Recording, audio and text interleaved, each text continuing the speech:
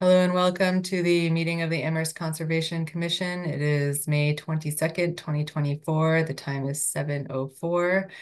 Um, all members present except Laura tonight. Um, we expect Dave Ziomek to be attending. Um, I'll just start off with chair report. I have nothing. So skipping now to land management updates. Erin, can you handle the open space and rec plan update or did, yeah. Yeah. Go for it. Um, I've been spending quite a bit of time with the open space and recreation plan going through, um, doing some analysis to come up with some um, information to include in the update. We're meeting um, on Friday collectively, sort of the the um, town hall team that's been working on the plan, and we're we are planning to do some um, public sessions. Um, we're likely going to get creative and do um, a session at um, uh, Mill River, one session at Mill River, like near the playground area, and one session um, at uh, Groff Park um, area, just to sort of interact with folks, like rather than having a like a special meeting where we bring, you know, um, where we invite people to come, like kind of going out into the community and just talking to people. Um, and potentially bringing some information on the survey results with us when we do it. Um, and then I believe there's going to be a, a potentially like a public information Zoom session and possibly a town hall session. But I think some of the town hall sessions that have been in the evening have not been as well attended. So, you know, we're still trying to figure out um, what the public information sessions will look like, but it's basically just continuing to gather information and um, figure out our action goals that will be based on the um, survey results that we completed and the public information that we've gathered. Thanks, Erin. Do we get to see the results in some kind of summary form? Yeah, I've requested that um, information. So um, there is like because it was done through Engage Am Amherst, there are um, some like reports that can be published from that data. Um, I'm just waiting to receive those. So, but they're in the works. Great, thanks. Welcome, Dave. Good timing. Um, Erin just gave us an update on the open space and rec plan, but you want to take over for the director's report, go ahead. sure. Um, thank you. Um, Hope everybody's doing well. Yeah, just a couple of quick updates around town. Um, community gardens are well underway for the season. We've got, I think, a final count at Amethyst Brook is 27 gardeners at Amethyst Brook. We've expanded that a little bit based on the demand. Angela Mills in my office is doing a terrific job at kind of overseeing that and helping with rototilling and and uh, marking out the plots and such. And I think we have about 40 plus gardeners at Fort River Farm. So um, those are our two uh, community gardens this summer, and uh, lots of people very excited to get out and and turn over the soil and and get growing. Um, I think I mentioned the last couple of meetings, we're still waiting on word about a couple of the grants that we put in, Aaron and myself. One is for the Puffers Pond Dam and Dike work. Uh, I think that's around a hundred, excuse me, around four four hundred thousand dollars for design and permitting for uh, dike and dam improvements at, at the pond. And then uh, we also have a grant out there for um, more funding for hickory trails, in particular to connect the so-called loop trail to the west with the north-south trail. So we're still waiting on that. Um, while we're at Hickory, things are going very well. Erin has been out there consistently with myself and Bob Parent, who is a, uh, a consultant, if you will, somebody we brought in. He's an engineer. I perhaps I mentioned him before, but we were able to hire Bob with ARPA funding, we the town, and he's um, helping us on a number of engineering related projects, including the Jones Library, the Fort River School, and also Fort River Farm, excuse me, uh, Hickory Ridge uh, Trails. So he's been invaluable at uh, working with the uh, contractor Taylor Davis out there. So the trails are coming along. They're making great progress, and uh, we've got to get them done um, by the by absolutely uh, at least the loop trail by the end of June. We'll talk more about kind of grand opening and when those trails will open once we're a little further along. I just met with Brad Borderweek, our land manager today, and and summer season is kind of kicking off for him and Anthony, our assistant land manager.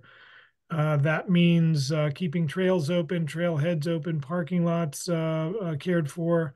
Um, it also means Puffer's Pond. So with the warm weather, uh, people are gravitating once again toward Puffer's Pond. Uh, they have been up there consistently on the warm days and uh, we will begin water testing um, if likely next week uh, or around June 1st, which is the normal time we start water testing. So um, we'll keep an eye on the water quality up there. We are in the process of trying to hire summer staff, summer crew. We typically bring on well, it used to be five to seven people, but budgets being what they are, it's likely uh, two additional summer staff. We've had some good interviews um, that Brad and Anthony have conducted. And um, I think we have some very qualified young people who want to work on the trails and work at Puffer's Pond and help us with uh, kind of a multiplier effect out there on the trails this summer. Um, as you probably know, the pancake, the Puffer's Pond Pancake Breakfast is June 1 at Mill River Recreation Area. So that is back in in full this year. So we're hoping that they can raise a significant amount of money for Puffer's Pond. Uh, I think last year, I want to say they raised around $8,000, which is um, excellent. And then Aaron gave you the open space and recreation plan update. So it's, you know, gearing up. We're gearing up for a busy summer. And, um, and this is the time that people love to get out and use the trails and use Puffer's and Mount Pollux. And, and we've also got the capital projects underway. So that's kind of a, a quick overview of some of the things that Aaron, myself, and Brad and staff are working on. Happy to take any questions. Thanks, Dave. Looks like Alex has a question. Go ahead, Alex. Yeah, real quick. I got two questions, but real quick. The June one, that's a Saturday, right? Mm-hmm. Yeah. And the four hundred, the four hundred thousand for Puffer's Pond, is that just for planning, or does that have some construction money in it? No, that is just for design and permitting. So I said I'd get you some language for fishways, and I haven't done that yet. Is there still time? Yeah, we don't know whether we're going to get the grant, but absolutely, Alex. Please get me anything, um, anything okay. you, you can and and want to okay. forward on to me. Absolutely. Okay, I started I started drafting, and I I'm a little slow on the justification, but I'll yeah. Aaron can help me out on time frame, but if we got that grant, I think it would be some months of design work. So we, we might be a three to five month design period. So yeah, we would we would keep the commission updated on that as well as the community. There's been a lot of, you know, obviously that's a high hazard dam, and uh, the system up there needs to be maintained and uh, improved. So uh, we will keep you posted. But anything you can get us on Fish Passage would be great. Yep. Fish ladder would be great there, Alex. Thanks. Sorry. I will, I, I will smile and say it would be wonderful. Um, it would be very expensive, but sure, let's take a look at it. The other thing to keep in mind, yeah, the other thing to just keep in mind is the, the Mill River system uh, is first compromised by the dam at uh, Lake Warner. So fish cannot make it uh, beyond uh, almost the confluence where the mill and the and the Connecticut River, that confluence there. So there's no fish yeah. there, but we, when, we want to talk about when, both. When Hadley spent all that money rebuilding that dam, they didn't put in a fishway, which was a big disappointment. Yeah, I was somewhat part of that process early on, but yeah, we we should really look at both of those dams in the so future what, for sure what I'm working on now is the justification on what fish in the system need passage in order to have uh, aquatic connectivity rather than just a blanket request. Is a, trying to put together a why do we need it paragraph. Absolutely. We would welcome that information. Yep. Thanks, Alex. Look forward to reading it too. Um, And I've asked around a little bit, so maybe I can hook you up with some fish people names. All right, um, we have fifteen minutes to get to some other business. Um, how about emergency certification? Wanna do that one, Erin? Do you wanna give us a summary? Sure. Um, I was approached by Beth Wilson, um, at the DPW. Uh, They reported that there's been some, um, flooding of their access road to well number six. And I'll share the photos, um, which has prevented them from being able to get to the well for their testing that they do multiple times a month. Um, so just in in communicating with Beth, um, I basically suggested that we do a a slow and controlled drawdown to try to reduce the water level here, and also um, I encouraged um, uh, DPW to try to engage. Uh, you know, a group like Beaver Solutions to come in and see if they could put in uh, some type of a flow control structure or or some other um, means of um, keeping the water moving across the road so that they can still maintain access and it will keep the water level manageable. So they're working on that. But in the interim, I did issue um, an emergency certification, which I'm hoping that you will entertain ratifying this evening. Um, and I did condition it um, to see, sorry, it's a little difficult to switch between screens here. Um, I conditioned it pretty strictly, um, slow, controlled drawdown um, over a two to three day period, just opening up a one to two foot area at the top of the dam, lowering by six inches at a time over several days in a controlled manner. And then conditions associated with the approval were, um, you know, the slow drawdown to prevent flooding, scour, and sedimentation, that I would have a site visit during the drawdown to observe site conditions, um, the area is located in um, a natural heritage and endangered species area, so um, requiring that they follow any conditions that NHESP might have, and then that they consult um, a company to try to address the issue um, in some manner. So Aaron. Aaron, um, um, raised my hand. Yeah, um, well, anyway, thank you, Erin, for um exploring more long-term solutions than just taking out beavers and drawing down water. So I look forward to hearing more about that. Um, were you gonna, you're done with pictures? Okay, go ahead, Alex. Uh, when you had the picture up, was that a road where the dam is built along the road? Yes. Looked like a truck could still get down that road and through the puddle. Where's the well? Um, the well is on the other side of that access road. Um, so yeah, I think it's it's tight and getting dangerous um, for access. I mean, it looks precarious and like it'll get worse. Go ahead, Andre. Yeah, um, isn't that off Warren Wright Road that you're talking about? Um, nope, it's um, well, I don't know if you came in from the other side, but it's um coming in from Southeast Street. Um. It goes I- across. I, yep, I ride my Yeah. bike across there. Y- yep. Okay. it's way in the back. It's it's like out in the um Mhm. wellhead protection zone. It was flooding a bit last year too, just a bit, but that looks pretty bad. Yeah, it's gone. I was out there last year, um, and it was nowhere near like this. It's it's gotten significantly worse. Um, so Okay, any But more there- questions? But their Yeah. access, there, if something, if they really had to get to the well while this is all going on, they could still get there, right? yeah, I think that a lot of the concern is if there was a breach of that, um, if it Wash out if the road. it wipes out the road and also just the environmental sort of, you know, it wipes out the road and just causes a lot of damage downstream. So I understand. think just get the water level under control. Yeah, my question was whether or not they were blocked from getting to the well altogether. Sounds like they're not.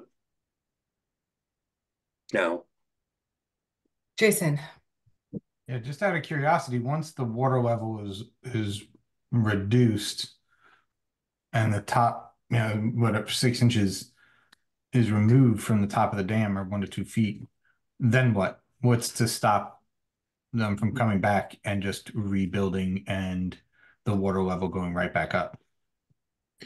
That's a great question, Jason. Um, so the the initial discussion was trapping of the beavers and um, you know seeing as the trapping season ended on april 15th i'm really encouraging dpw to to try to manage this through the um, beaver sort of reproductive and breeding season um, until it you know trapping is back in season um, just to try to be um, responsible about you know the management back there I'm sure Dave has more to say. I don't want to Go ahead, Dave.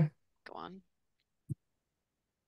Yeah, the only thing I was going to say is that um, these situa- every one of these situations is is absolutely unique. So I think Erin, the way she's approached it with Beth Wilson at DPW is is just a really smart way to do it, which is yes, short term, you know, we're gonna let some water out of the dam and take that down, but then getting in beaver solutions, they're the real experts. Um, every every every place that beavers are building dams around Amherst, let's just stick with that, is unique and so are unique and and um, the topography is unique, the the stream, everything about it, and you know it's a complex issue, and particularly when you're talking about water supply, this is you know this is yes, it's maybe the back 40, but we've got to be able to get to that well one way or the other. So I think this is a really solid approach.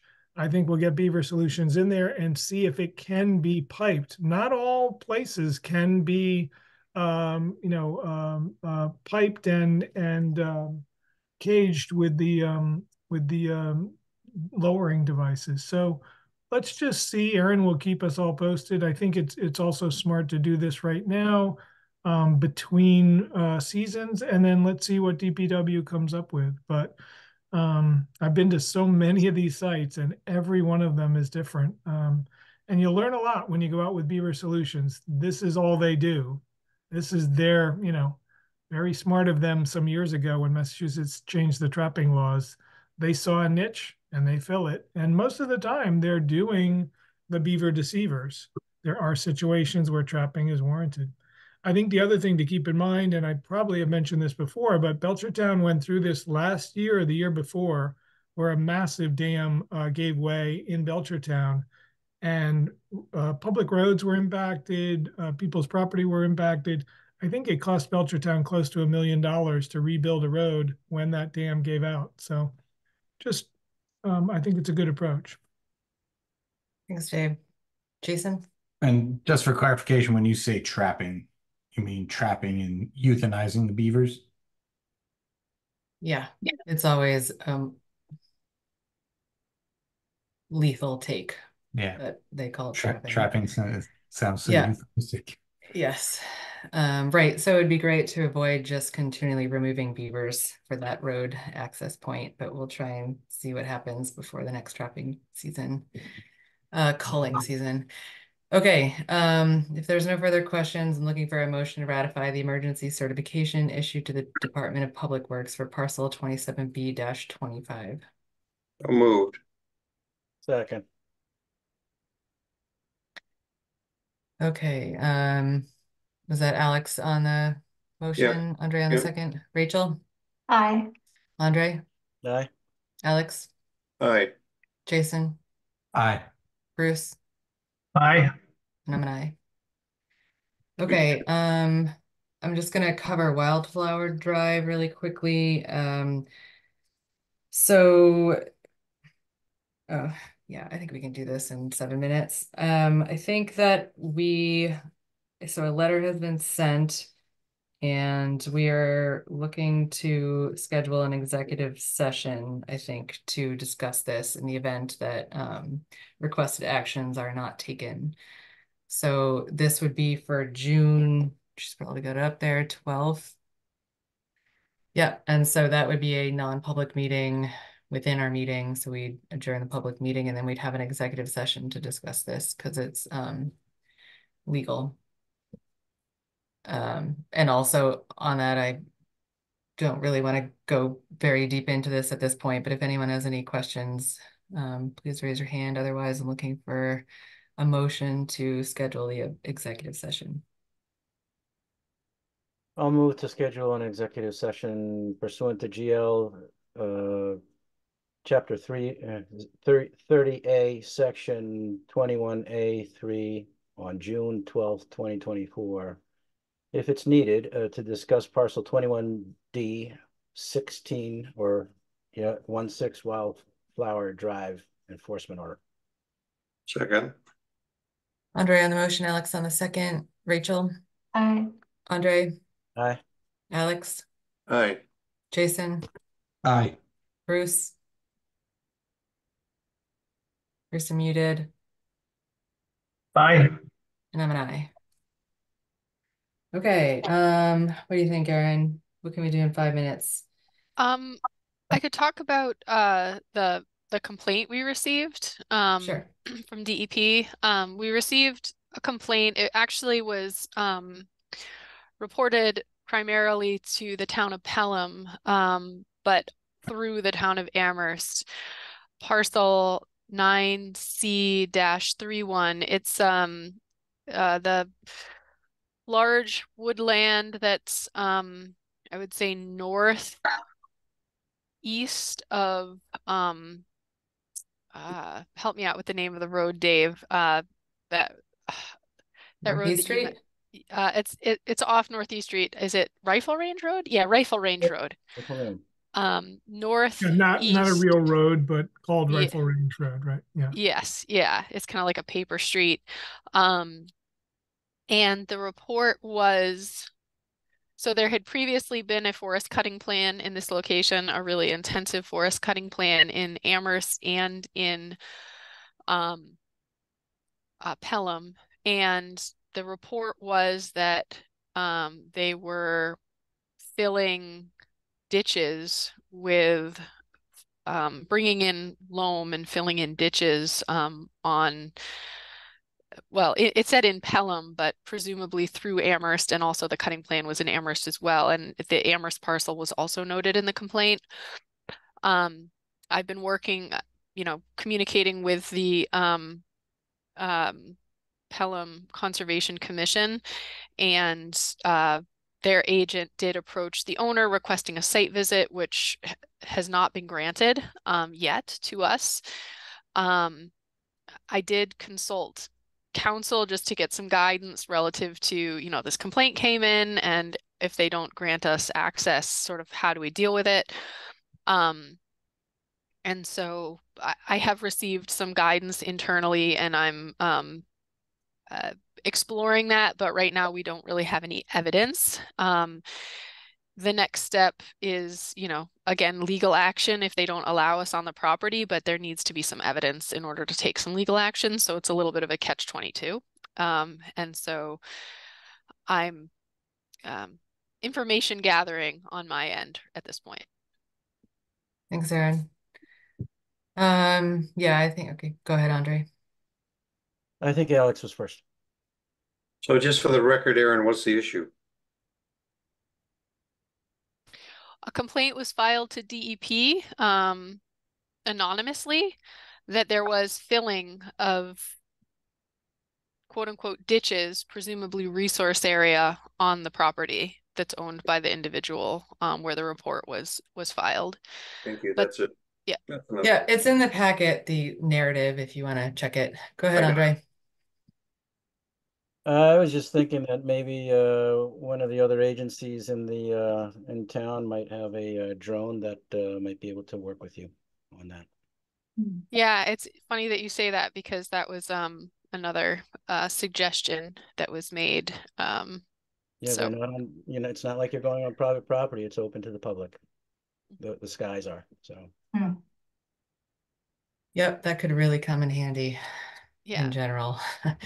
Um, thanks, Andre. Mhm.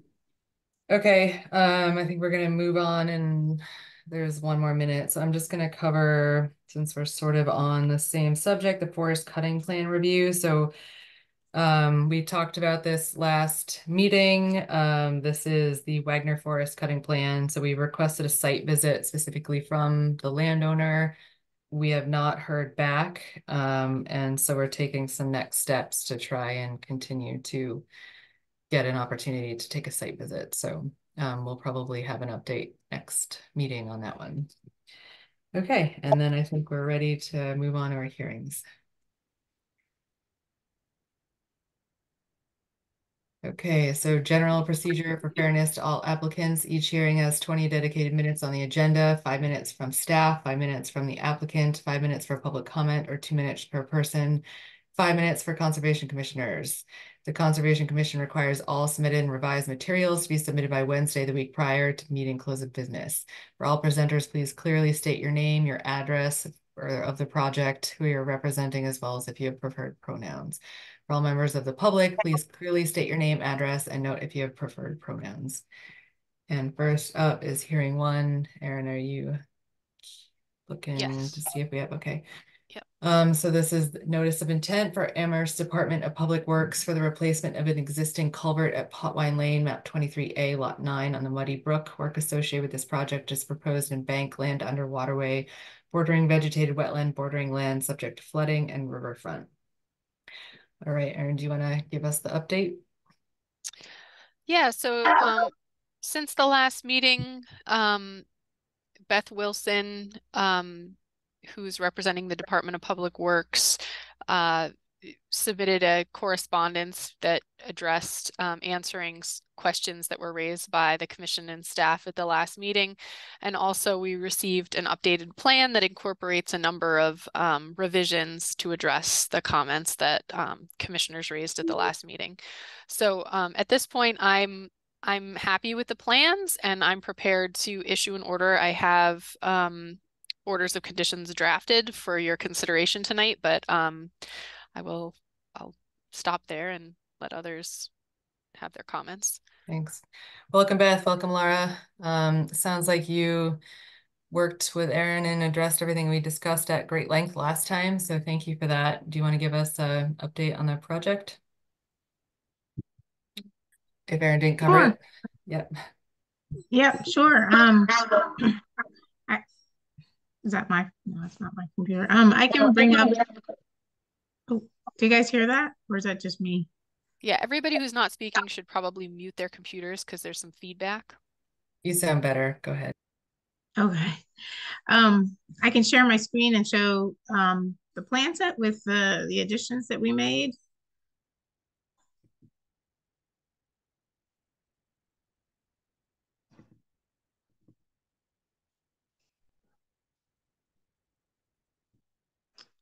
Uh, Not Potwine.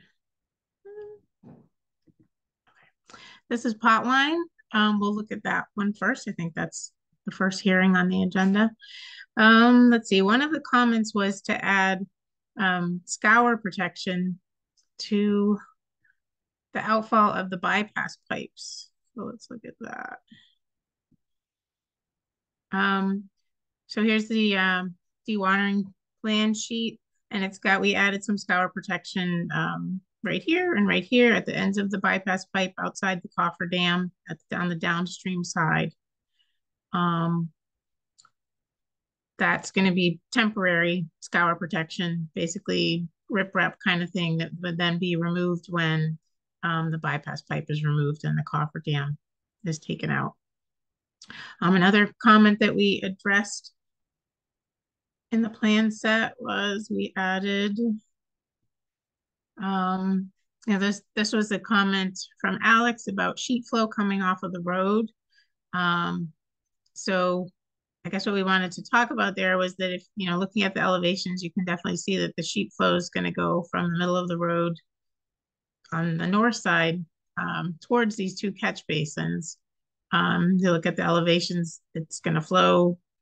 That's definitely the low point where those two catch basins are. Um, and then those two catch basins, as we talked about before, have deep sumps in them to help treat some of the sediment. Um, and then I guess I wanted we wanted to point out that you can see the head wall and wing walls are about here, and the edge of the road is about here.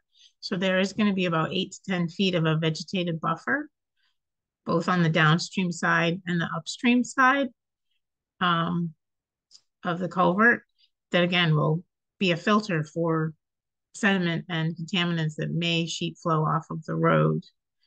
And what we've added is some biodegradable matting. That's what this little kind of mesh um, shading is.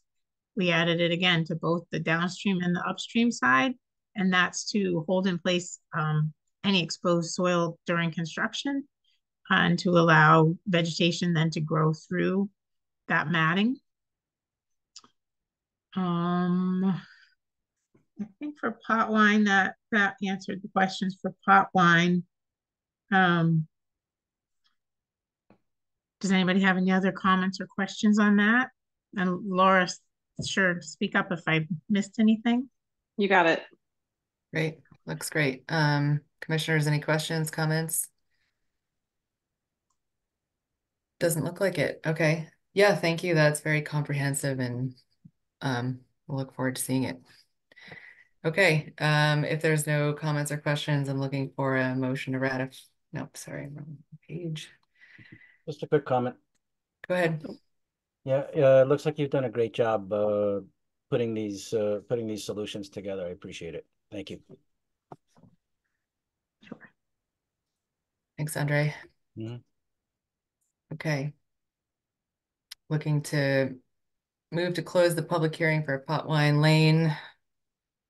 I'll move Culvert to re- close the public hearing for Potwine Lane Culvert Replacement, DEP number zero eight nine dash zero seven three six, and issue order of conditions with the standard boilerplate conditions under both the um, Massachusetts Wetlands Protection Act and Wetlands Protection Town of Amherst General Bylaws, Article three point three one and regulations, with the noted additional special conditions. Second, Jason oh. on the motion. I got Rachel on the second. Rachel, Aye. Jason, Aye. Andre, Aye. Bruce, Aye. Alex, aye, and I'm an aye. Okay. thank you, Beth. Thank you, Tara. Thank And you. this is this is an easy transition. Okay, um, hearing two.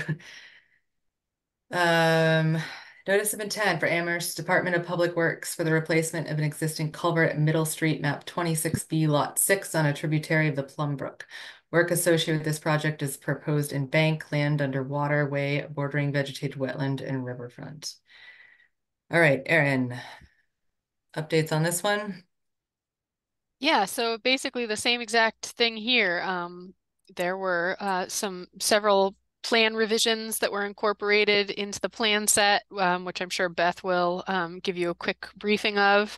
Um, and I think that the staff and um, commissioner comments have been addressed. And so I've got a order of conditions drafted and ready for approval. Thank you. Beth? Yep, I'll share my screen again.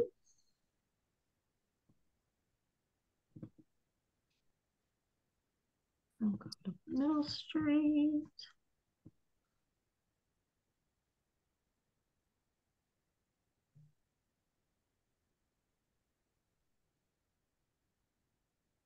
Oh, sorry, flying around here. Okay. Um, Middle Street, um, we added the same scour protection, which you can see right here, um, which will be at the end of the temporary bypass pipe. And similar to Potwine, it'll get removed when the bypass pipe and the cofferdam come out. And so at Middle Street, um, we extended the, um, what is it called? The leak off. Yes, the leak off, the stone leak off. We extended the stone leak off. It, it had been just sort of at this end before at the lowest spot on the road. But we've extended it all the way to the wing wall um, on the, the south south side of the project. Um, I guess did we do that on both sides, Laura? Yes, we Yeah. did. Yeah, it's hard to see. The shading's kind of funny here, but we did, we added an extended stone leak off on both sides.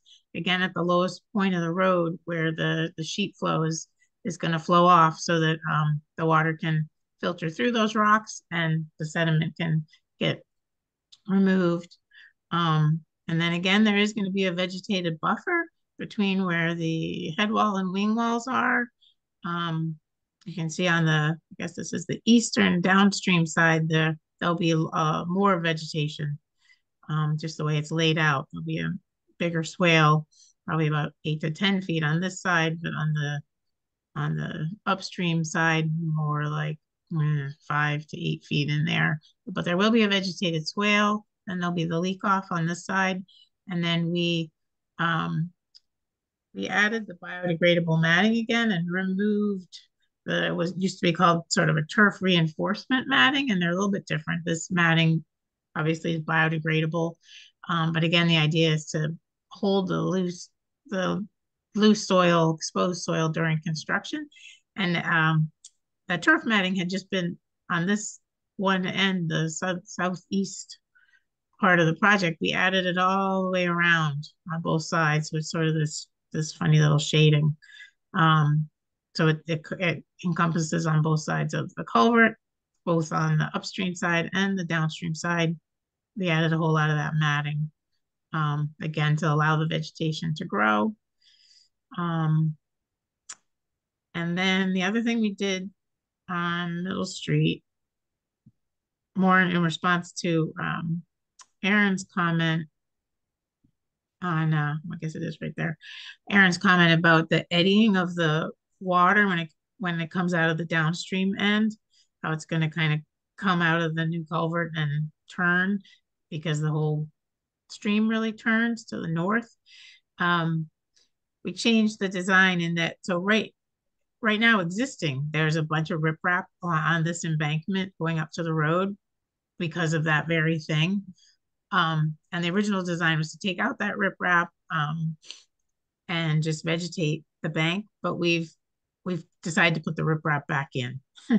and and I and we I don't know if we talked about this last time, but even just having a wing wall right here, it just doesn't exist right now, will help with that. So the you know the water will come out, it'll circle around, and if it does come back, first they'll have a wing wall protecting the embankment, and then we're also going to um, enforce it with more riprap, like it is right now. Um, I think that's it. Anything else, Laura? That's it on this one. Okay. Also, just to add to Beth's presentation, um, we did get a letter from Natural Heritage um, that basically reported that there was they they issued a determination letter saying that they didn't feel there would be a take of it um, endangered species and endangered or threatened species with the project. Thanks, Erin. Um, commissioners, any comments, questions?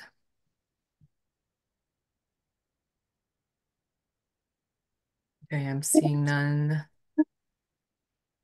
Um, again, thank you, Beth. Thank you, Laura, for uh, addressing all those comments. Um, okay, commissioners looking for a motion.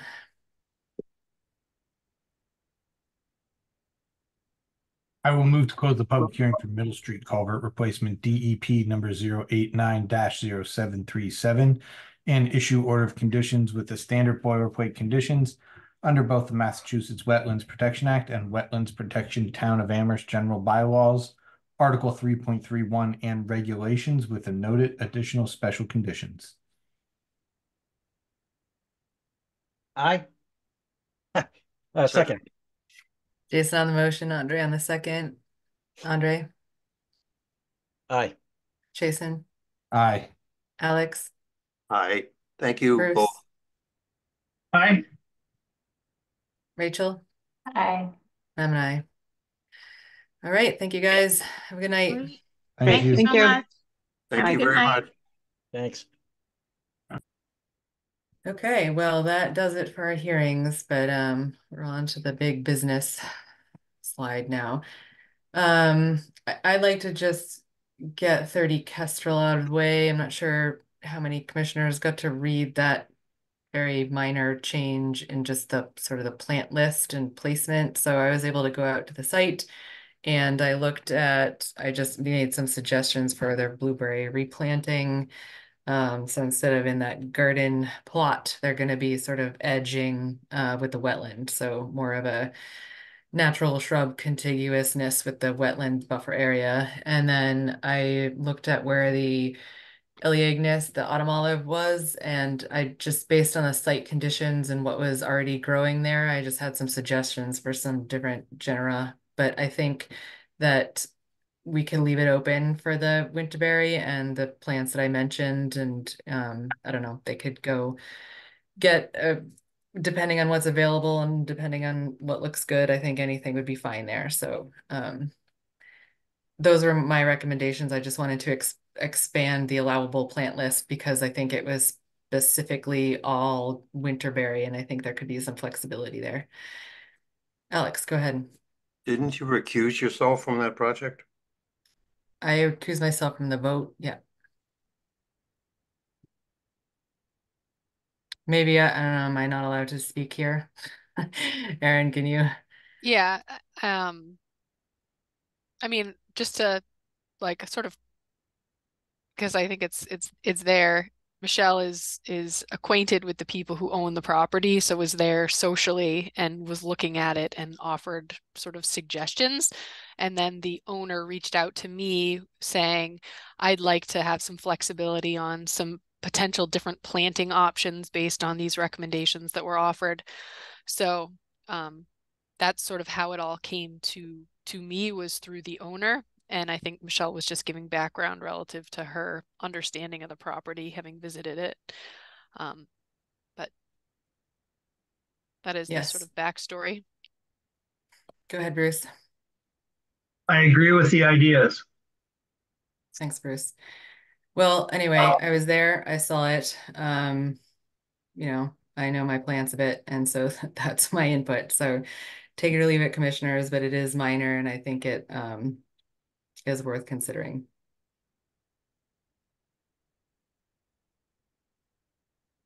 Yes, I support diversity of vegetation. Good. Yeah, and I mean, I don't think that there's even really a vote necessary to approve this. Um, I think it's it's such a sort of negligible um, detail of the plan. I think it's more so just to keep you guys in the loop that the landowner was thinking of diversifying the plant list a little with some other native species to make sure if we do a follow-up where there's say a certificate of compliance issued that you guys aren't shocked when you see additional or different natives planted out there that there they were it was suggested to them that some others could be mixed in there um, to diversify a little bit. Okay. Yeah there was some concern that that was sort of codified in the in the permit because it was very specifically mentioned. So that's sort of what this is trying to do is leave some um, opportunity for diversification. Go ahead, Andre. Just to say that I won't have a problem with that change. Okay. All right, if no vote is needed, no one else has any questions, um, I think we can move on to Fort River School, DEP number 089-0729. Okay. Um, yeah, go ahead, Erin. So I'm going to do my best to present this. And the reason for that is because there, um, so let me just give you sort of a snapshot. Um, I, I received a request to amend the order of conditions for Fort River School. Um, there are a number of changes and there's details on the changes. I think that there's um, a couple sort of questions for the commission to consider tonight. One is whether to consider this a minor administrative change to the order of conditions or whether you would like the applicant to come back with a formal um, amendment to the order of conditions. Um, so just for the sake of sort of um, laying the groundwork for the request. There's no increase in impervious surface associated with the work. Um, everything is within the existing work footprint. Um, these are all modifications to stormwater systems or underground piping, which um, uh, still are consistent with the stormwater management standards. They are they were adjusted for a variety of reasons, which I'll I'll outline to you. Um, and uh, there was uh, the um, surfacing for the um, playground was determined. The reason I'd like to present this is to just present it to you sort of in a broad context, um, because I feel like I have sort of a layperson understanding of how to explain the changes.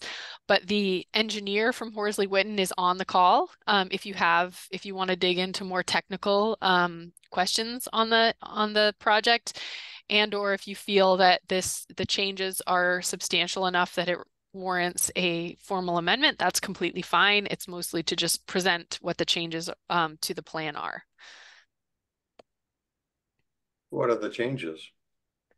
Uh, hold on. Bruce, do you have a question about Well, I just wanted to figure out the balance here. So there is a memo from Horsley Witten that basically states in like a page and a half what the changes are. And they, in, in one or two sentences each, they seemed reasonable. So on that side, I was like, okay, this, this makes sense to me. But then there's like 300 pages of a gigantic report on Yes. water and several other aspects. And I didn't have time to read all that, nor would I necessarily understand it. I'm be counting on Jason to fully understand it. Um, but that that balancing, I don't quite know what the which side to go on with that. Right. So So- Erin did sit down with an engineer for like two hours to review these plans in great detail. So I think that we should let her give us her summation, her layman summary of these. And then if anybody has any specific questions, we can invite um, some more technical expertise to answer them. Does that sound good? Yeah. Okay. Um, okay, so and and just to sort of comment on one thing that Bruce said, which is that there is a stormwater report, um, calculations. These are all basically substantiating the um, hydrologic calculations for the changes to the stormwater report. So um, that's those are sort of the backup documentation that support the request. So just want to clarify that. And commissioners aren't expected to, you know, necessarily know all of the details of that, but um, I'll just, I'm just going to go over the big picture items. And then again, if we want to get into more detail with Steve, um, we can. So the first is that the um, the playground um, material was um, uh, is proposed to be the corkine material, which uh, is the cork-based um, product, which I guess was determined to be the most sort of safe and environmentally friendly option. Um, and so that is the commission may recall that we didn't actually approve surfacing for the playground because there were outstanding concerns about the environmental um, impacts of the material that was proposed originally. So that corkine material is proposed for the playground. Um, there, there were two um, uh, sand filters which were um, proposed as part of the stormwater management, and I'm kind of pointing to them right here those sand filters um, for a variety of reasons, mainly due to the steepness of slopes within the um, the filter itself, and also the fact that um, when in the course of a storm, those sand filters would fill with water, and um, we're talking on the on the um, ballpark of like three to four feet. They would fill with water with steep slopes inside, and there was some concern that they would be holding water and present a safety hazard to children on the site if kids decided they wanted to go in there and play or you know uh, fell in or something like that. Um, that there was potential for safety problem. So um, these uh, there have been some adjustments to those um, in terms of their depth and in terms of their um, uh, volume capacity and also um, some like structural changes to the the one in the front where there um, a portion of it is being replaced with a sediment forebay rather than a um, just a sand filter. And then um, because of those changes, because of the changes in volume that are triggered by those changes to those swales, there is a um, an underground infiltration chamber um, that is now located under one of the parking lots to compensate for that additional volume. The other um, large change is that the staff parking area which was originally proposed to be part of the phase two of the um, project. Um, they've recognized that they actually need to do that as part of phase one because they don't have enough parking to accommodate um, all of the parking needs of the school um, when that phase one is completed. So they've added a uh, phase 1C, which includes that staff parking area. Now, these changes that were made have triggered other changes, which are piping connections. Um, uh, there were some additional structures which were also added in order to accommodate some of these changes. So I am glazing over the changes a bit. These are the, the highlights, the major changes. There are additional catch basins which have been added to the site. There were some adjustments to, again, the piping connections, mostly based on the changes to the structures that are proposed.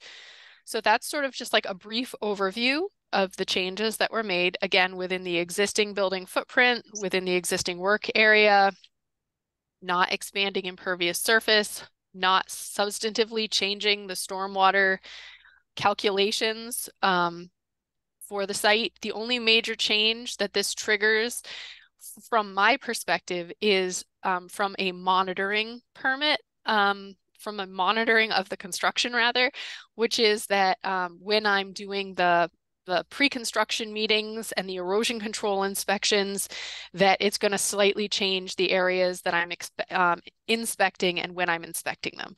So those are sort of the major changes that it triggers to the permit. The other piece of it that it triggers are changes to the operation and maintenance plan, which is the reason why there's an updated operation and maintenance um, plan that's associated with the stormwater report. And one thing I did talk to Steve about was making sure that the Department of Public Works and also the school department and the town administrator were on board with these changes. Um, so basically sort of a checks and balance to make sure that they're still okay with these proposed stormwater structures to ensure that they're going to be able to maintain them in perpetuity. Um, so those were sort of my um, how I wanted to just lay the framework for this so that the commission understood what the changes are. Um, I'll pull Steve in and commissioners feel free to ask questions um, or, you know, however you want to handle it. And your request um, to the town for the approval of the updated OMP, is that pending? Is that is determined? Um, so I spoke with Steve yesterday afternoon and basically said, you know, have DPW, has DPW looked at this? Is the school department okay with these changes? Is the town administrator okay with these changes? Because ultimately, previously, they're the ones who signed off on it and said we'll be responsible for the maintenance. So um, I don't know how far along in the discussion he's gotten since yesterday afternoon, but there may be some additional sort of um, I's to dot and T's to cross relative to that. Okay, thanks. Hi, Steve, welcome. Um, okay, Rachel, go ahead. Um, yeah, thanks. Uh, two more administrative questions. Um, one, I see that there are turtle barrier protections as part of this plan. Um, has Natural Heritage been notified of these changes and do they have any comments? Um, I understand that they are being notified um, and I believe that they're just pending comment. Okay.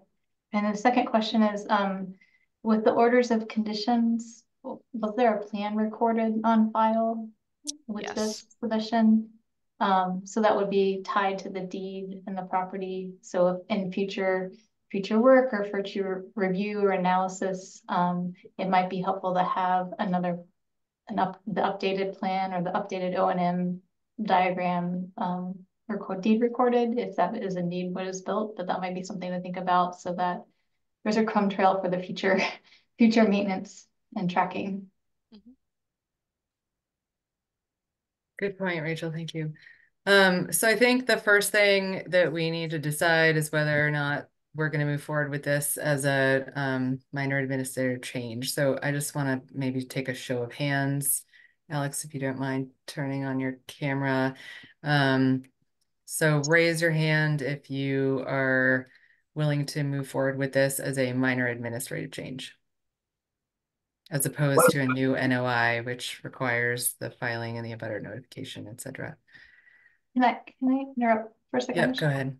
Yeah, so the last question about the recording of the plan, I think that would change how I would vote on this. Um, if there is a mechanism to get that material loaded and on record, that doesn't, um, that doesn't, you know, whatever format it needs to follow to get that information, I would support that. So I don't know if, if that's minor or a more formal change. Right. Erin, do you have any? Yeah, history? s- so I can look into that a little bit more, um, and and try to get an answer to to Rachel's question relative to how to make sure that the um updated O and M plan is is referenced in the final documents, and if there's a mechanism for us to somehow record that, um, so that it's uh, documented that the change was made. The other thing is I wouldn't necessarily expect the commission to vote on approval of this this evening, um, because we're still pending, you know, getting some information from Natural Heritage, still pending getting some information from the school department, town administrator, DPW, et cetera. Um, but mostly for them to know sort of what direction they're going and also if there's any outstanding questions that you have on the project that they can address um, now. Okay, thanks. So we'll add that to the list of pending questions, and then I think we just open it up for questions from commissioners. Go ahead, Andre. Uh, thanks. Um, yeah, I don't, I don't have a problem with, uh, continuing as a, uh, as a minor administrative change. Um, but I would, but, uh, I'm not ready to, uh, take a full vote up or down on it. Yeah. Okay, thanks, Just to put Andre. it out, uh, for the, uh, for our discussions. Um, okay, so any comments, questions on the changes themselves? Go ahead, Bruce. Like I said before, the, as they were described in the summary memo, they seemed reasonable. Um, I just want to make sure that if there are deeper technical questions, issues that they get addressed, and maybe DPW is one of the ones that will have to do that, but so I'm not ready to vote on it either, but for that reason. Thanks, Bruce. Jason? Yeah, as a point of clarification, the underground, the subsurface detention system, it says here that it's a lined detention system. Um, Erin, I thought you said infiltration system, so I just want to make sure that i- is it detention or is it infiltration? Because it, if I think you're muted.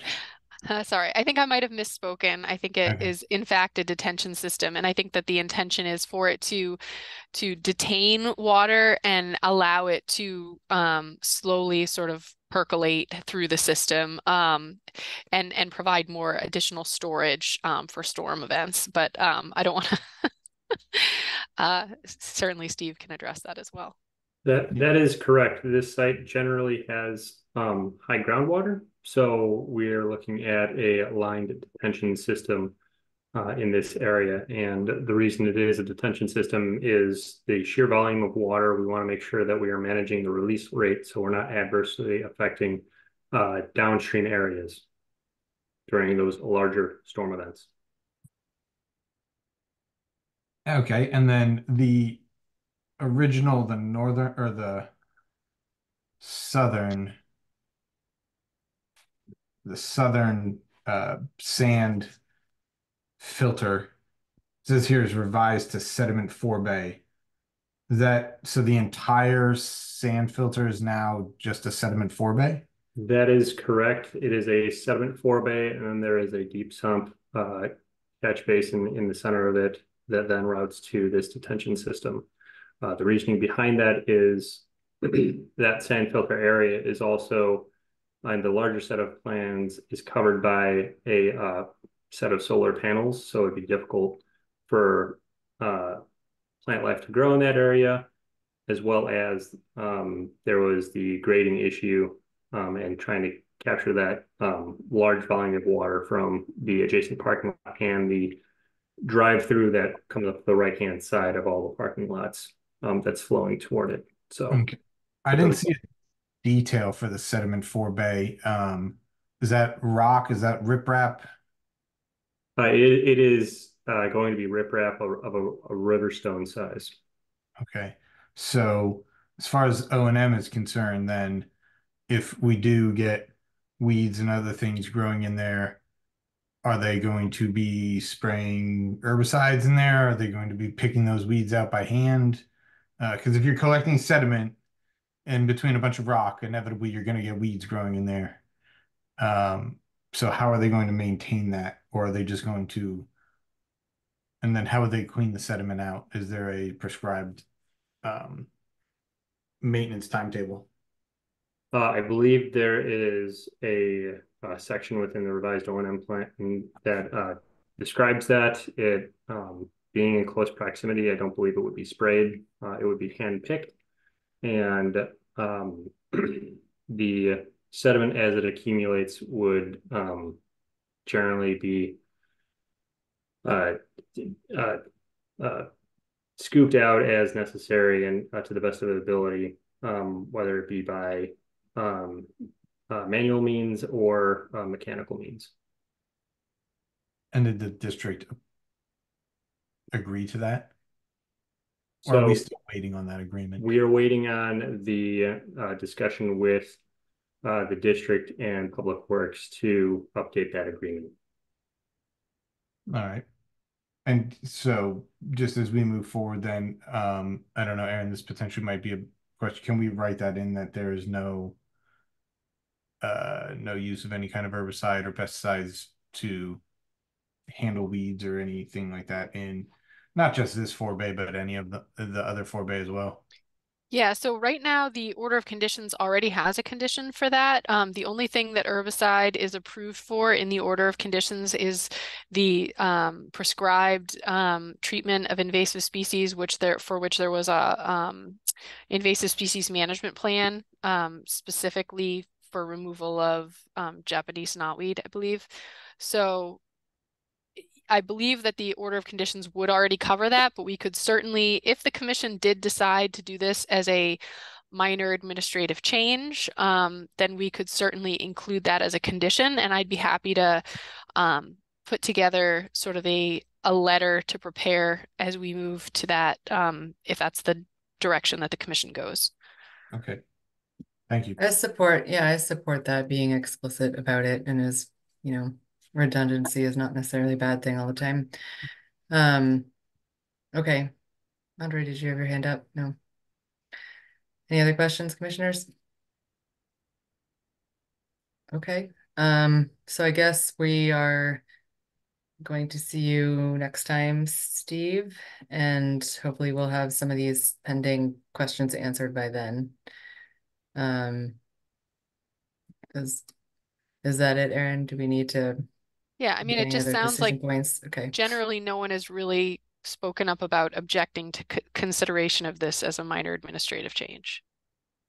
Well, Rachel had reservations based on, yeah, Right. If as long as we put some precautionary measures in place to make sure that um it's clear in the O and M plan and um you know, and I have equal concerns about that as well, so I want to clarify that behind the scenes as well. thanks, Erin. Alex? I'm with Rachel on making sure that the material we're talking about, the changes as part of the record, knowing that uh, minor administrative change is a term of art, and it doesn't necessarily mean that the change is minor. Thanks, Alex. Okay, um, I think we're good then. All right, thanks for joining, Steve. Thank you, everyone. Good night. Thank you. Okay, um. Let's see, where are we? UMass. S- Um, so I believe Jason is here for UMass. I will bring him in. Um, while Jason is coming in, I can give you just a brief update on where things stand with UMass. Um, so Dave and I met uh, last Friday with Jason and um, another gentleman from UMass, and I'm blanking on his name at the moment, but um, a member of the facilities management team and discussed sort of the issues and solutions moving forward um, to try to sort of improve communications between UMass and the Conservation Commission. And so um, Jason uh, has come this evening to basically discuss some of the solutions that we um, have come to in terms of um, ways that we can bridge the gap and improve our communication and um, some some measures that the university is taking to um, sort of address the concerns that staff have raised. Very good. Greeting, greetings all. I am uh, Jason Venditti. I am a project executive in the design and construction management group here at UMass. Um, every time uh, off camera when they would say, Jason, your opinion on that, I kind of perk my ears up. So if Jason Skeels gets in the room, there'll be three Jasons.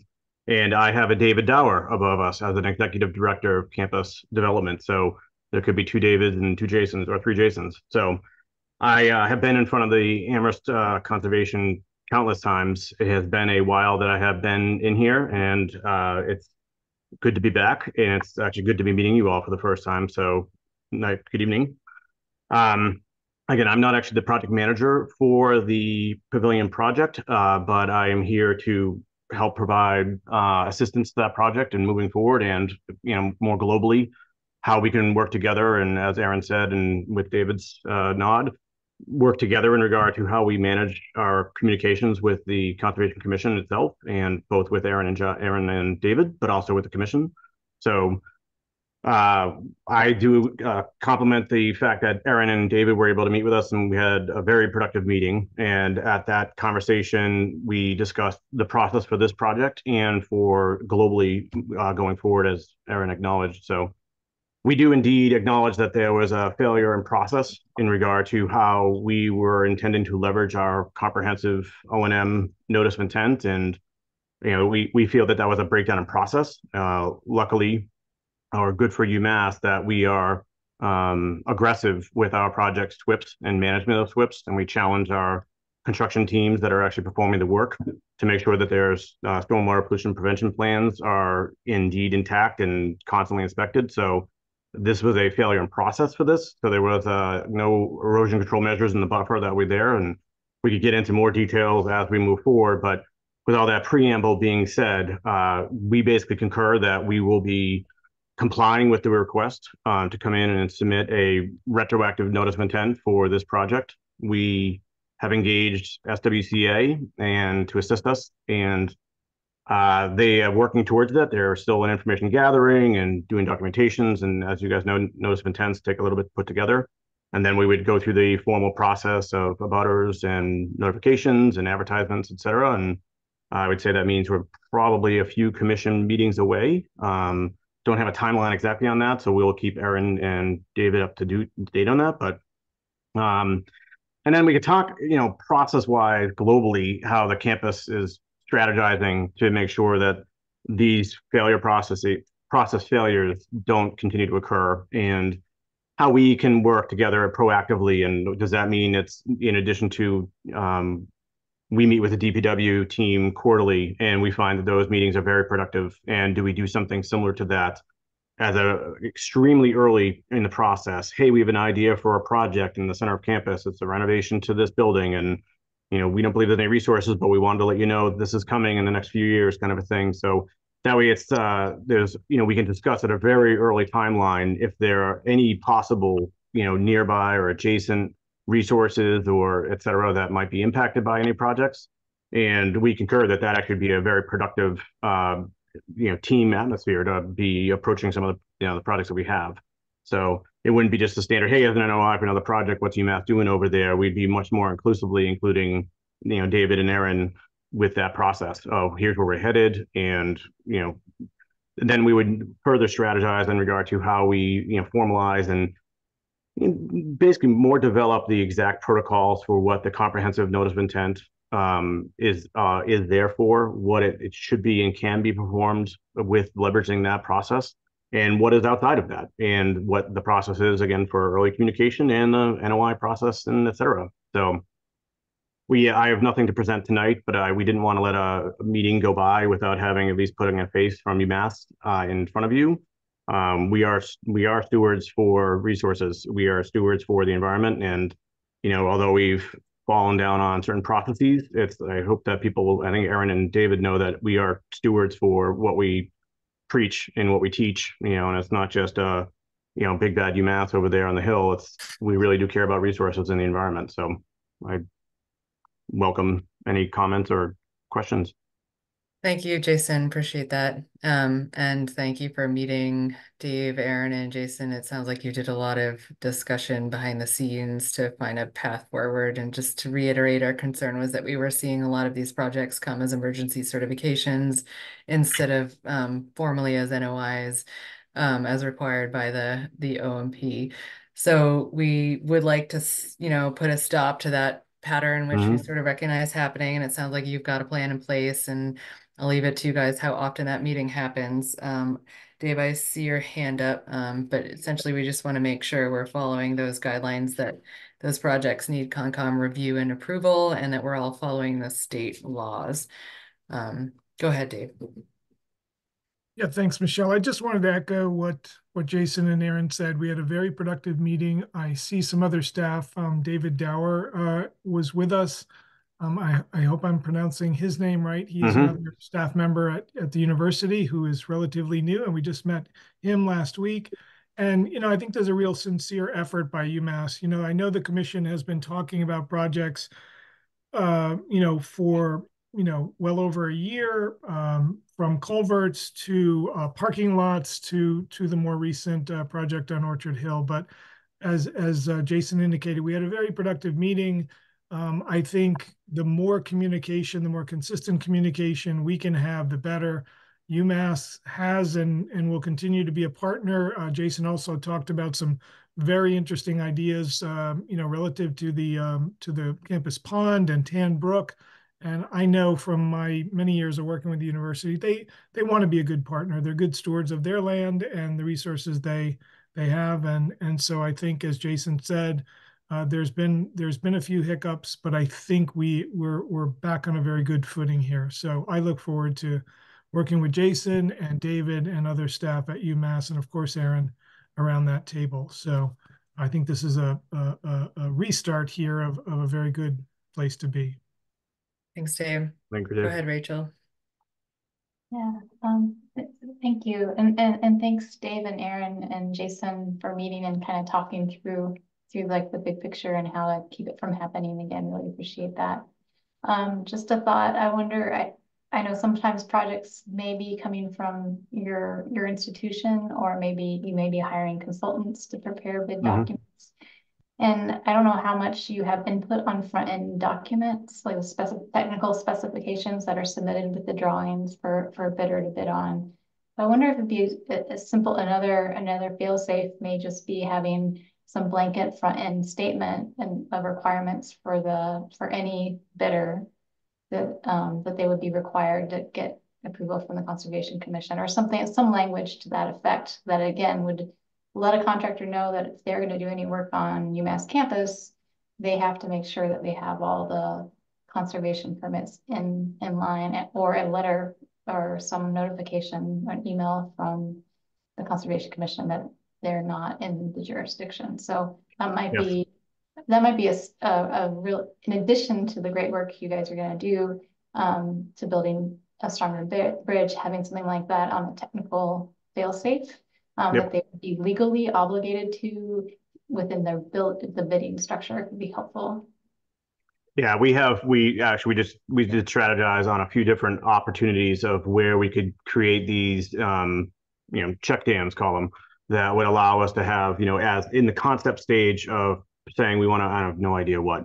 We want to build, you know, an entire bridge over the stadium because we want to build a bridge over the stadium. We, we would not allow that. We would discuss that at a very early stage before we hired any consultants at a very high level with us first and kind of begin that process of looking at resources and what we have mapped. And some of that would be death goddess stuff. Some of it would be like, man, actually, this is a good idea. Maybe we should go out and flag resources and start to do that. Maybe we do ANRAD for larger projects going forward.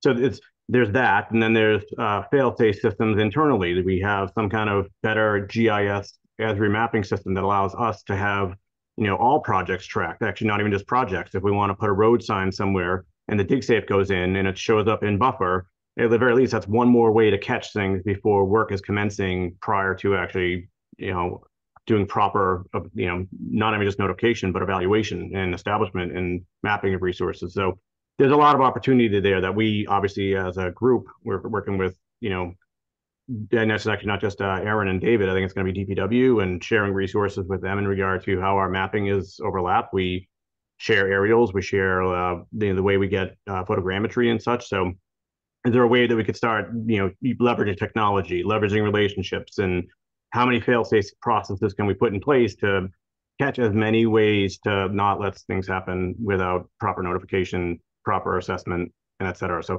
we're open to that. We're in the very early stages of trying to implement different strategies. So we're we at this stage, no idea is a bad one. So sure. Thanks, Rachel, Jason. I like that idea. Rachel, Bruce, go ahead.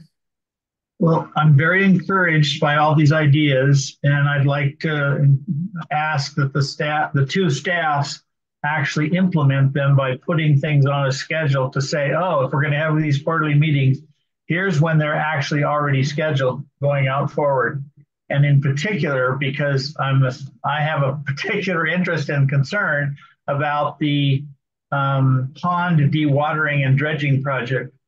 And so I think these ideas need to be implemented as rapidly as possible because we should be talking about that one starting the next meeting. Um, it's it's a huge thing, and I'm pretty concerned about it. So Yep. I would ask you to implement this stuff sooner than later. Yep. Well, I want to step on David's toes, but I did. I am so uh, energized by some of the ideas that we have for the Tanbrook 2, the how we manage uh, how the head wall functions, um, how it correlates to the overflow and goes down to Boyden Fields, you know, and water quality in the pond and as campus as is the campus itself as big as it is the 1200 acres as water exits campus the water quality that exits the campus so we I gave a I don't want to call it a presentation. It was technically supposed to be a discussion, but it ended up being you know Adobe slides that I ran through with David just to kind of give him a very high level. Here's things we're thinking, and it was the reason why I keep saying conversation is it wasn't a here's what we're building. It was no, we want to engage you in this process, and the consultant that we hired to help us put together some of the engineering aspects of that we purposely did not exclude um, the town portion of Tanbrook because we wanted to actually go through metrics of you know, not just what our stream flow was when it enters our campus, but water quality and all that kind of stuff is related to the town too. The town cares about Tanbrook as much as we do. So uh, we it's it's somewhat technical in regard to the nature where we're at right now with lots of ideas on the tables, and that's why it was a conversation, not a presentation of here's what we're proposing to build. But some of the things we're doing actually will definitely benefit the town. Like we challenge them to come back with, you know, climatological analysis to say, you know, we talk, you know, you guys have heard it often, 2, 10, 25, 50 year, 100 storms and what those mean and flow rates, et cetera. And what we wanted to do is get that, that be to be hyper local. So we allowed them to engage in our climatology center here to actually go through and actually come back with a design storm that's much more empirical on campus, which is corollary to what would be an empirical storm for the town. So you know, that kind of information sharing is what I where we want to head, and that's why when I reached out, what's interesting about this is that that was uh five six weeks ago or so that we I actually did that, and so I I think that uh I'm hoping that you know David maybe raise your hand and say yeah Jason is a good guy. I'm joking, but it's um I I we have great ideas and we have you know we want we agree with you know the concept that the pond is very sensitive and Tanbrook itself as a resource is a wonderful resource for us all and we want to protect it. So and again the we it's not a presentation level yet for this commission, but we have engaged with David and others to start getting that conversation going. So thank you. Thanks, Jason. Okay, well that's exciting projects on the horizon and yeah, mm. look forward to implementation of this and um, see what comes out of it. So I guess staff will leave it to you guys to nail down your quarterly date, but it sounds like that's where we're going and maybe we just get updates at our meetings on on your meetings with UMass. Any other questions, commissioners? Okay. Jason, thank you for taking the time tonight to come talk Not to us. Not a problem at all. Enjoy it. Thank you very much. Have a good evening. Okay. Um, 11 Trillium. Yeah. so um I was contacted by the owners of 11 Trillium. They were able to have the um uh, survey markers put in place for the 100 foot buffer. They also sent along a video which indicates relative to the the lawn area and sort of the um, wooded slope where the extent of the 100 foot buffer is located with the pins. So um, I uploaded those into the OneDrive folder so you could see relative to sort of that boundary line where the markers were placed. Um, they invited me to come out for a site visit. I wasn't able to get out there before the meeting tonight, um, but I think they're getting, they're feeling like they want to sort of eh, resolve um, the the situation, feeling like they've, you know, they've complied with what the commission asked for, and so I think where we're at at this point is what other um, uh, requirements would the commission ask for in order to feel that this um, matter is sort of reaching resolution or at least a compliance level at this point?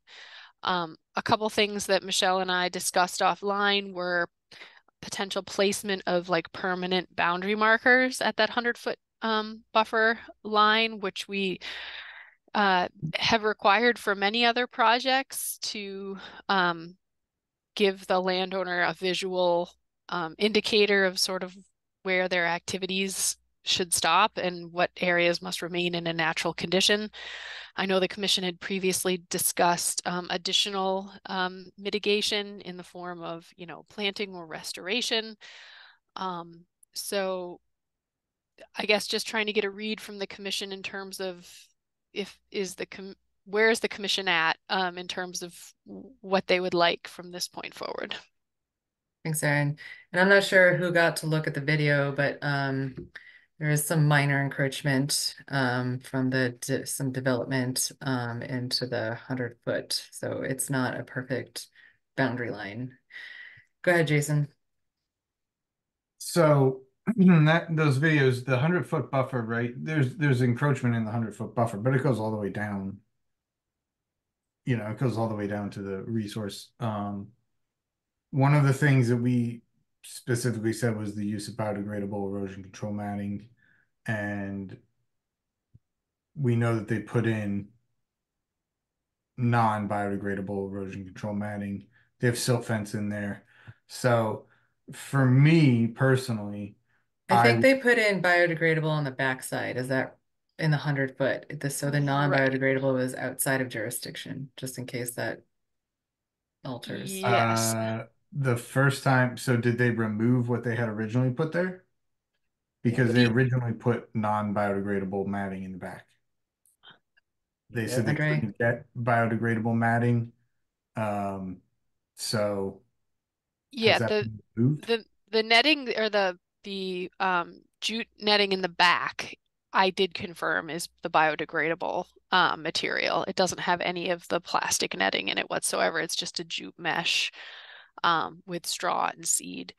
The material in the front, which is on the the road side, um, the slope which comes down to the road near the catch basin, that was a plastic material uh, or like a plastic netting material. And I did talk to the owner about that.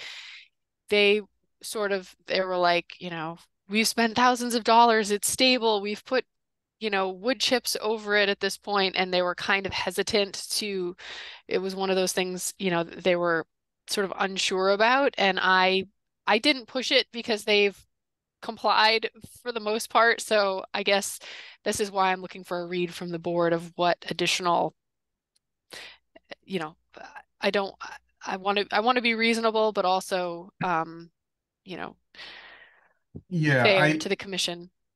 I don't, I don't. I like to be reasonable as well, but I think that this was a particularly egregious. I think they just went in there and kind of blow and go and did whatever they want to do. And so when it comes to um, mitigating the damage that was done, you know, we asked specifically for biodegradable um, there's concern with wildlife ensnarement with those types of plastic nettings, even with mulch on them and heavy rains, that mulch gets washed away. We don't know how well they're going to maintain it. Um, I would like to see it all removed. I would like to see all, any non-biodegradable matting removed. And I would like to see the back stabilized. And I don't know if, I believe they were supposed to use a, you know, a, a wetland mix, was it, that was supposed to be used there? Um, the general, the general kind of industry consensus for a notice of termination for a project or certificate of compliance is seventy percent vegetative cover. Mhm. I don't see seventy percent on that slope. I would like to see at least seventy percent vegetative cover before they remove any of their sediment controls, the silt fence and the straw wattle. And I'd like to see the non-biodegradable blanket in the front removed. They can remove it and they can put the mulch down. That's if they've got it covered in mulch, I think, you know, roughly uh, a roughly uniform layer of three inches of wood mulch suffices for stabilization in the front. Thanks, Jason. I just want to follow up on the seventy percent of for the hundred foot buffer. So it's like a forested slope. And when you say seventy percent, are you talking canopy or are you talking ground cover? Because seventy percent ground cover might not be realistic for like the canopy, the tree canopy. Yeah. Sorry, seventy percent of background of of pre-project existing background. So Okay, not not canopy per se, but what was there, right? okay. What did they what did they remove or what did they, you know, damage to the point of of of needing to mitigate?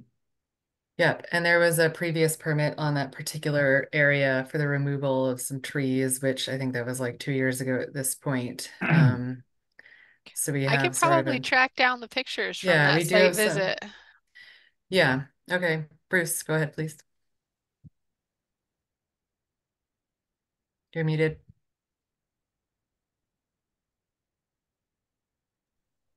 I'm just reminding all of us that the stream at the bottom of the slope is not on his property. That the property line is, I don't know, a few feet towards the slope from the stream. So I don't know what happened with all the sediment that ended up going down the slope and into the the, the other property and the stream. I don't know what happened with that. But that was it. With the first time I went out there with Mich- uh, with uh, Erin, that was an issue. Yeah. So since the time that Bruce and I went out, which I believe was the f- one of the first site visits, Yes. um, they did clean up that material by hand that was Okay, property. Yeah. And I did Okay. confirm that. There there was one site visit I went out and it was partially cleaned up and then I went back and it was it was Right. Cleaned up. So it's yeah, it's it's looking much better all around. okay. Thanks, Chris. Andre? I support uh Jason's ideas um on what to do. Um I'm ambivalent about the uh that that uh front portion of the uh of the of netting. I would like it to be uh biodegradable. Um but I kind of feel like it's outside of outside of the uh uh the limits that we uh, that we enforce, uh, although there are, we can condition things. I do also uh, would like to see um, the limit of their uh, of the lawn, etc. Um, I, don't want the hundred foot buffer to go uh, onto their lawn, so I would like them to put their the to put everything behind the one hundred foot buffer. Um, and from the videos, it looked like there's some uh, some overlap. There is, and um, just to clarify, there's like a concrete electrical something um, for their lawn light. So that's in the buffer. So it's a little more than just lawn. There is actually some structure development. Jason? Uh, two things. One, that that lawn light in the buffer, was that part of the original plan? No they weren't supposed to be anywhere near the hundred foot buffer with the work. So how did they get, so what, you know, we, we've talked a lot about them doing clearing that they weren't supposed to do and everything. But I don't think that I realized that was in the buffer. So they ran an electrical conduit, they poured concrete in the buffer. They presumably augured out a hole to put the concrete in. Is this something that, I mean, what, I guess I'm asking what uh, is there additional mitigation then that we can require for this? Is this something, where do we go when something Yeah. like this happens? I mean, I think they should they should pull it out. Um, they should pull out that material. They should pull out that structure. Um, and they should stabilize the area where that structure is located. I also think it'd be a really good idea to put in some kind of permanent visual demarcation, which clearly um, identifies where the boundary is located so there's no further encroachment in that area because there was no permitted encroachment into that location um, by the commission. Yeah, I would like to see that pulled out as well. And so, um, as far as a permanent demarcation, are we talk, can we require something like a split rail fence? I know we've done rocks, you know, big boulders on, on other projects. But I would also like to see that because, um, you know, like you said, they weren't supposed to be anywhere near the buffer. And then for a point of clarification, uh, I want to make sure, Andre, in the front, I don't care if they replace the erosion control matting, as long as they just remove the non-biodegradable matting and they can put the mulch right back down. Um, they don't need to put an additional biodegradable matting under the mulch. The mulch, for me, the mulch is sufficient as a form of stabilization. But what I don't want is for that mulch to get washed away and there to be just net there. Thanks, Jason. Alex? You're muted.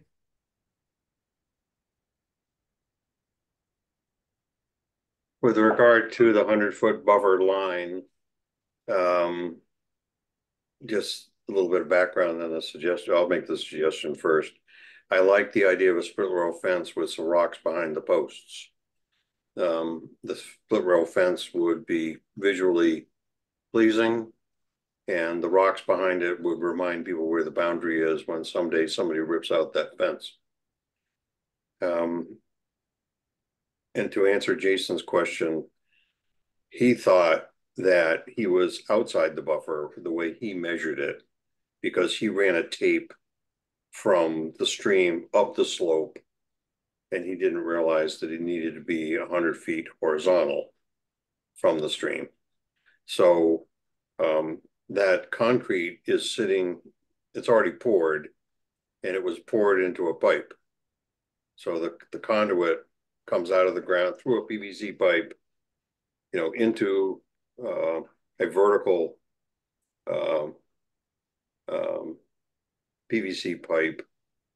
And then there's there's a pipe, there's pipes within the pipe, and then they poured concrete in it to hold it in place. So that would have to be gotten out of there and moved. That would that would make a mess. Um, if they could leave the lights and not make a mess. I don't, the, the, the damage is already done. No more damage will be done. But he may object to the lights shining through the fence. Um, I wouldn't mind seeing the lights moved outside the buffer. But I don't think I, I would rather see the buffer clearly marked with something that's aesthetically pleasing with something behind the fence to be permanent. Thanks, Alex. I just want to chime in that while I like the idea of the boulders behind the fence because I agree that the fence is impermanent, it's pretty sloped, and I think that it would be difficult to place the boulders without some earth moving, um, just in my memory and the videos. Um, and There's plenty, plenty of flat ground from where the hundred foot buffer is to the beginning of the slope. we should maybe revisit the video. Um, Jason, go ahead. Yeah, as a, um, for for the the comment that Alex made that he measured, he didn't know how it was supposed to be measured. Um, with the NOIs and with with project plans, that would have been clearly demarcated, correct? Yeah, And are we saying he, the homeowner, or a contractor, or who?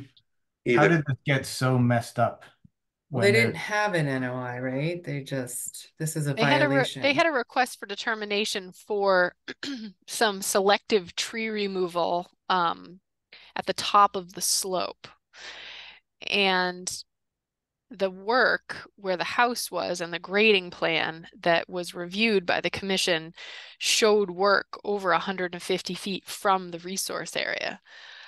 When they got in there, I think what the design concept showed for the that was reviewed by the commission and and approved by the town when they got in there to do the work i think the plan just simply wasn't followed i mean I, I can't speak to like the position of the house and the driveway and that type of thing but relative to the grading and the tree clearing and the site work the the plan was not followed um But there was a plan that clearly showed, right, that showed. yes So I guess what I'm what I'm essentially trying to figure out is how did this go that wrong? And yeah you know, a homeowner, uh, the homeowner, in my opinion, Yeah. the homeowner is not the one to be out there setting stakes and measuring. Like that would be a survey crew, and if they're going to be doing grading on a lot, like all that happens by contractors and with surveyors, and the surveyors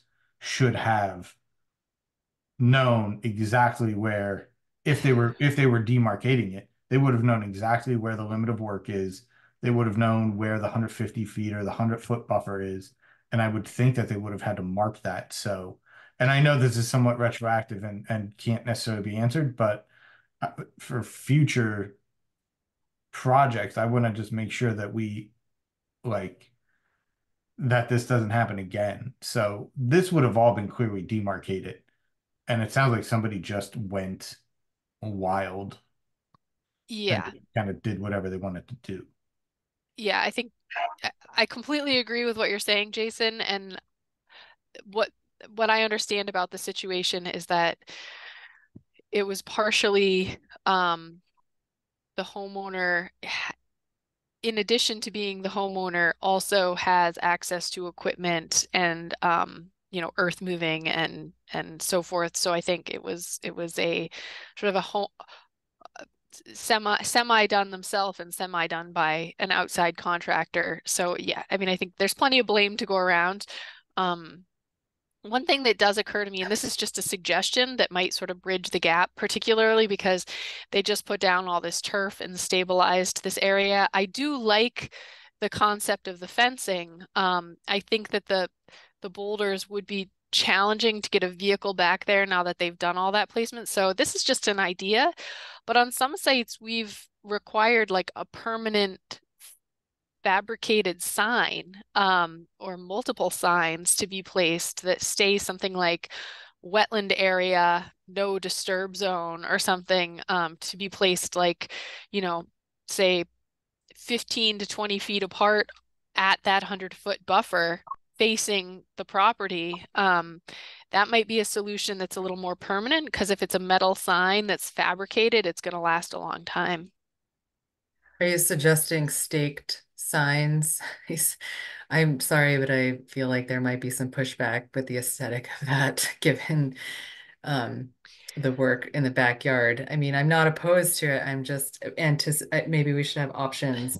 Um, I just want to chime in. So what whatever we do in terms of mitigation, aside from what's been stated, I think that there could be some understory shrubs added back to that that forested slope that would be beneficial for erosion control and just kind of restoring it to a natural condition because it you know got wiped down with silt and it's been dug and it's been cut and it's it's pretty raised. So some interspersed you know shade tolerant vaccinium or something like that it would you know go a great way to restoring that um and Erin I mean, I think sometimes have you suggested that we do an NOI for something like this so that we can we can condition it and we, it is attached to the deed and this can go through a more formal process. Is that an avenue that we can take? Because we have a lot of ideas and I think we talked about that earlier in this, um, this issue.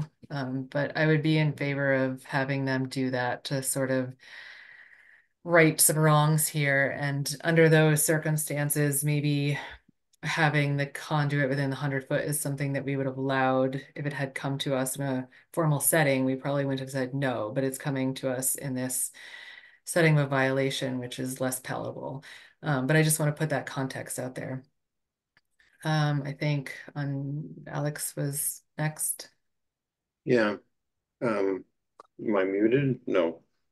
Um, Michelle brought up one of the points I wanted to bring up, and from my first trip out there, Erin talked to me about having him come in with an after the fact permit application, uh, NOI.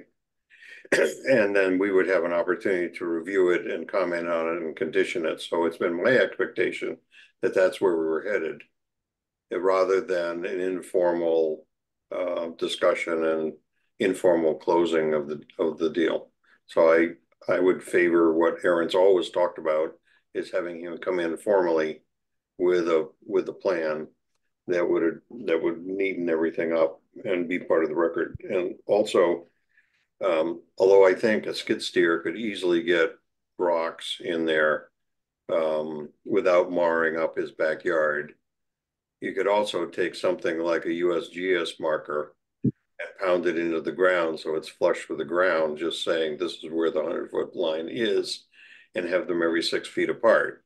That would not be visually obstructive, it would be permanent, and nobody, no future owner, I don't think, is going to purposely take them out.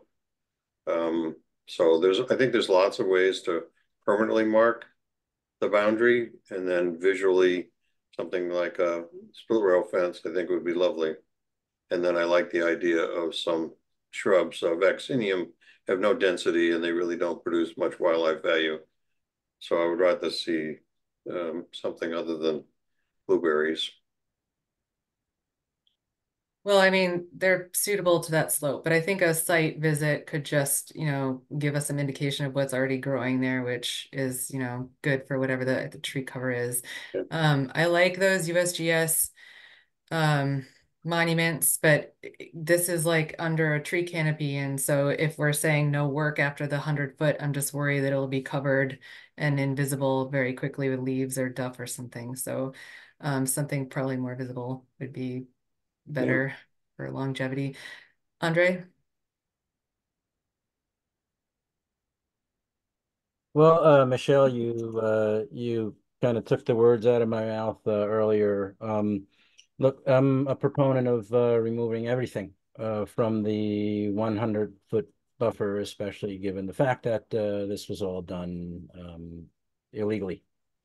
But um, taking into account uh, what Alex was saying about the permanence of the uh, of that uh, light lighting structure that's there, um, and how difficult it would be to replace it, and and especially without causing further damage.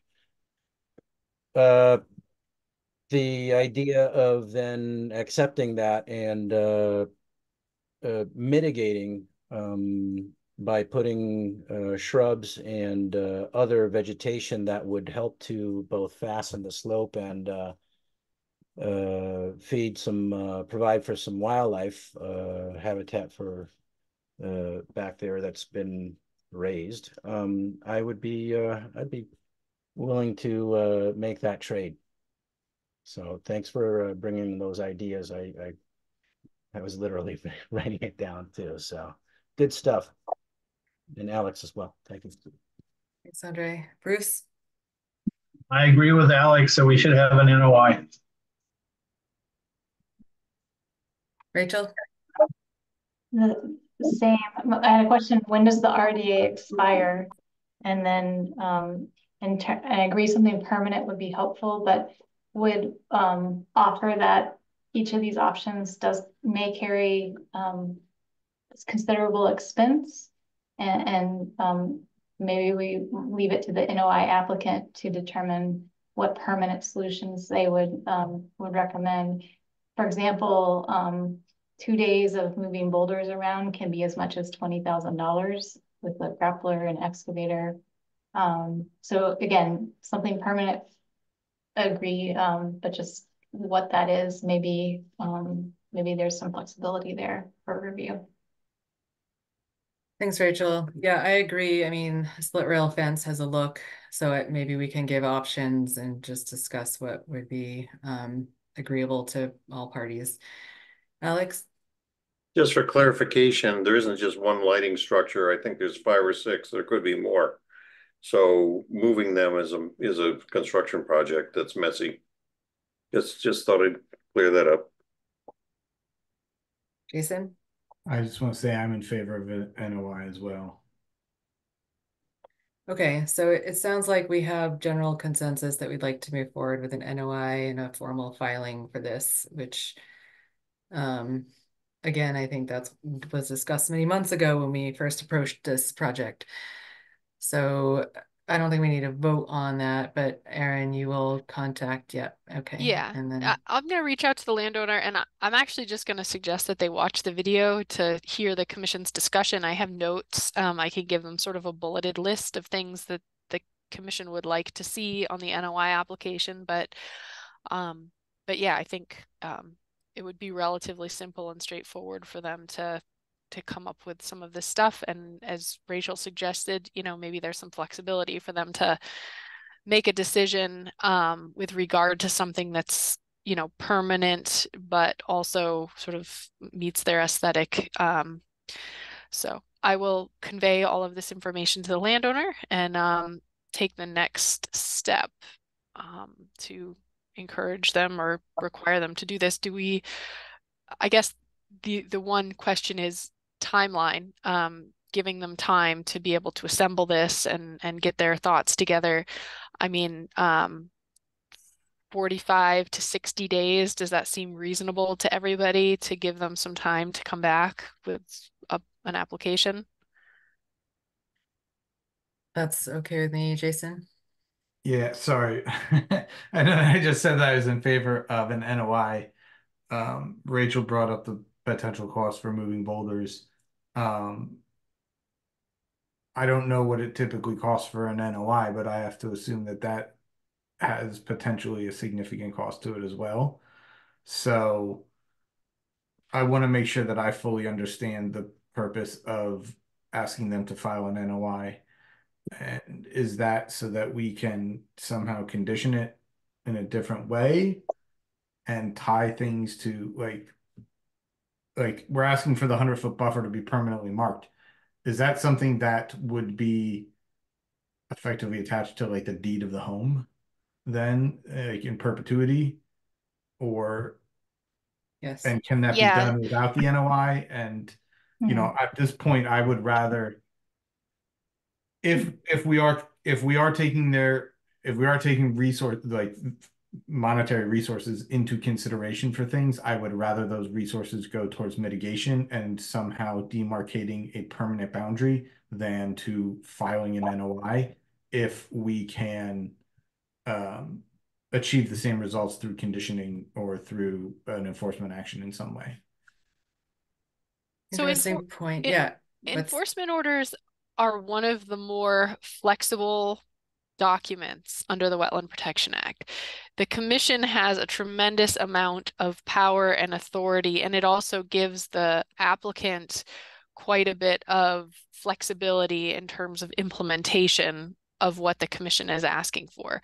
So I think there are um, th- there there are multiple ways to go about achieving the goal, the end goal of what you're looking for here, which is shrub planting, a permanent demarcation of the boundary.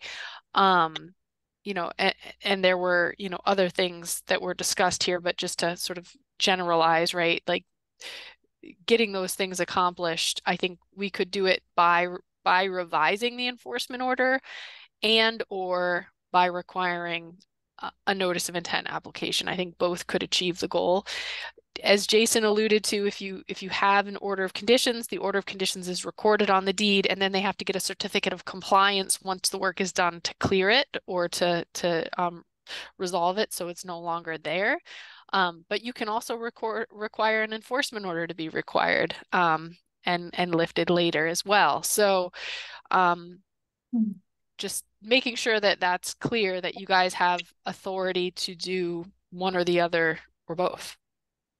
So, Erin, in your experience, then, do you have an opinion or like a pro con balance here? Yeah, I mean, so this is my thought on it. I agree that this was an egregious violation. I agree that they went way beyond what they should have done, but I do think that this landowner did go to I think they went they they did try to comply. And and I went back once a week for a month and a half. And every time I went, they were implementing more and more measures. They were taking steps to do what we were asking them to do. And so I really appreciate that. And they've been really great to work with, very cooperative. So for that reason, I think, and also because I know they spent a lot of money to try to do this right, um, as the commission asked them to, I think I think it would be reasonable um, to say we want you to come up with a planting plan. We want you to come up with a concept for a permanent um, demarcation of that 100 foot buffer zone um, and you know potentially address some of these other questions that the commission's asked for. Come to the commission and present those things and implement them. I don't necessarily think they would need to file an NOI, but if the commission felt strongly they wanted that, then I would understand why. So I think it could go either way. Um, but those are my thoughts. Bruce, go ahead. So how much does the NOI cost? I mean, it could be highly variable depending on the project, right? Yeah, and it really depends, I think, a lot on sort of the um, knowledge and skill of the homeowner um, to to take it on. So, like, just the filing process um, the notification of abutters and the legal ad, I would estimate to be in the ballpark of just under a thousand dollars um, to do, to do that filing process. Um, so yeah, I mean that's a minimum of what they're looking at probably to file an NOI, and and that doesn't include development of a plan or you know some permanent, um, you know that would be the record of the order of conditions of what they're proposing to do. Alex? So maybe Erin could give them a choice and say the commission uh, could ask you to file an NOI, or uh, perhaps you could come up with a plan that would uh, that that the commission could entertain, both of which would cut to the same thing. And here's what they're looking for: blah blah blah, A B C D, and let they'll figure it out.